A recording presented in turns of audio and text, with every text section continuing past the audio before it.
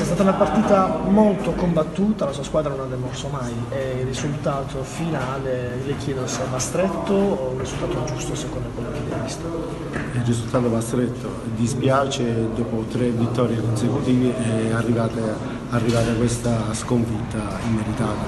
Purtroppo la squadra, cioè, i ragazzi hanno giocato benissimo, hanno avuto la palla alla fine per pareggiare, una traversa un gol non fatto dall'attaccante Villani, mi dispiace, quindi il pareggio sarebbe stato più giusto.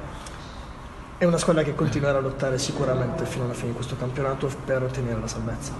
Certo, noi ci crediamo, quindi la prossima partita arriva all'Altamura, cercheremo in tutti i modi di prepararla bene e, e di vincerla.